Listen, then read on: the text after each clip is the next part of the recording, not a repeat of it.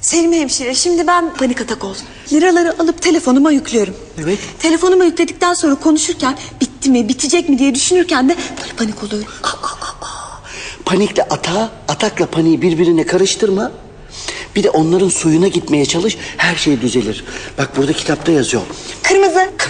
Siz de faturasız hattınızı Vodafone faturalıya geçirin. Liralar bitti paniğinden kurtulun. Ayda 20 liraya her yöne 400 dakika rahat rahat konuşun.